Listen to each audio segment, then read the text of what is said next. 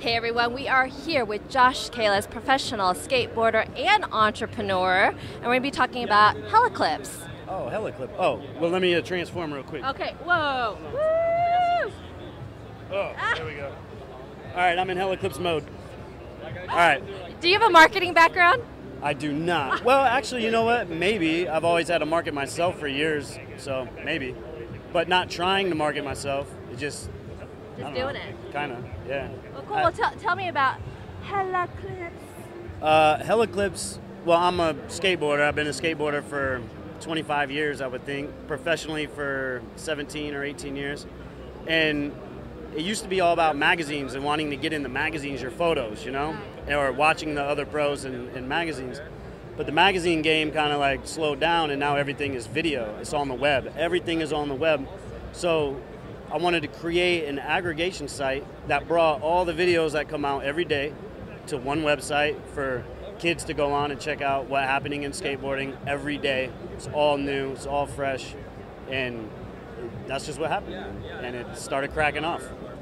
Awesome. So when you first started um, skateboarding, were people like telling you not to do this, or were you like one of those kids that just went out and you know went wherever you could? Oh yeah. Yeah. I was an outcast for sure. I was an outcast in my family, in my household. I was an outcast at school. Um, it definitely was. It was tough to deal with being a skateboarder, especially when I did it in the '80s. You know, that I started in the mid to late '80s and going through the '90s, and it was rough, but it was all about heart. It was all about passion and what I love to do, and it it kind of didn't matter what other people said, you know, and I just found myself at the right place at the right time sometimes, and end up working out, you know.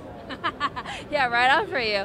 So, you know, there's a, I think as a parent, because I have a young son who's uh, 16 months, and, you know, for him to come to me and say, hey, mom, I want to go do this, the first thought I'm thinking is safety.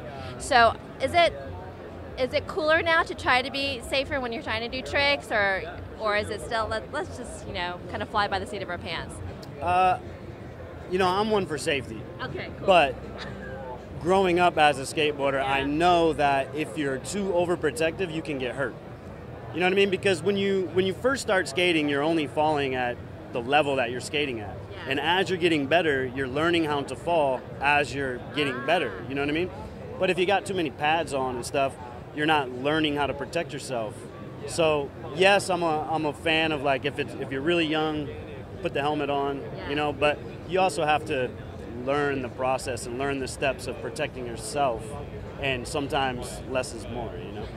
Very cool. so, to all the people out there, all the naysayers who are getting, you know, some heat on going after their own passion, they want to become a skateboarder or whatever it is.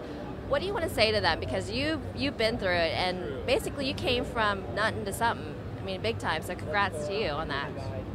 Um, I would I would probably suggest, or my advice to somebody that wants to come up through the skateboard world is just enjoy it and have fun with it and don't let it completely take over your life.